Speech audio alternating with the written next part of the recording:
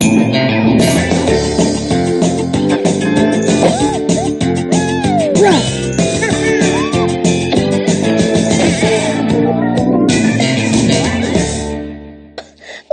at me, Leonard. That's just.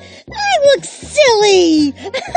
Jeannie, I feel like spaghetti. Jeannie, oh. what's with all this in the yard? Oh, hi, Professor Burger. Look, I hope you don't mind, but I brought Today because he just loves math so very much. Yeah, and as you can see, he also likes playing with yarn. Uh, Len- Leonard? Yeah, you remember my invisible bear?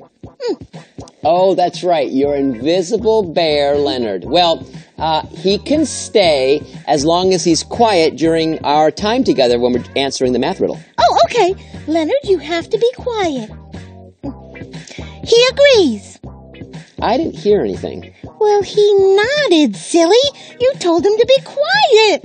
Hmm, she's got me there. Okay, should we have some fun doing some math? Yes, please. Okay, so here's the riddle. It actually involves yarn. No. Uh, yes. Okay, so here's the question. So the green yarn is about two red color tiles long. The question is, how long is the blue yarn? So let's take a look. So here's the green yarn piece right here. Right. And so we're told that it is uh, about two two color tiles long. And these are red color tiles, you can see. And each one of these represents a unit. So that's the, the unit that we're measuring. And in this mm-hmm. case, it's the length of these red tiles.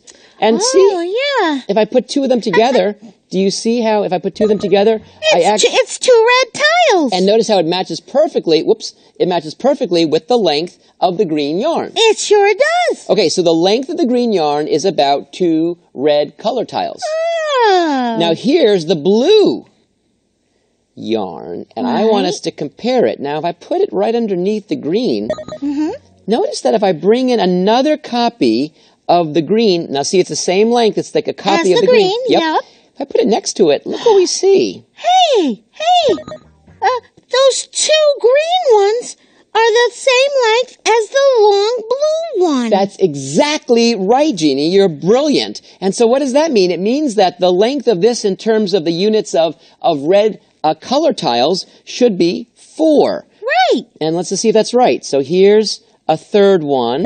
And then here's a fourth. Fourth one. Exactly. And look how, see, it matches perfectly with the that. length. It sure does. And so we see that just knowing the information we were given, the blue yarn is about four red color tiles long. And we can see that because we compared it to the green one, which we knew was two. And two and two is four. The blue yarn is about four color tiles long. That's right. That's right. Thank you, Professor. That was so much fun. You're welcome. Oh, oh, what's that, Leonard? Oh, hey, good idea. Professor Burger, Yes. Leonard wants to know if he can take this yarn and measure it. Uh, well, the math question's over, so sure, Leonard can take the yarn and measure it.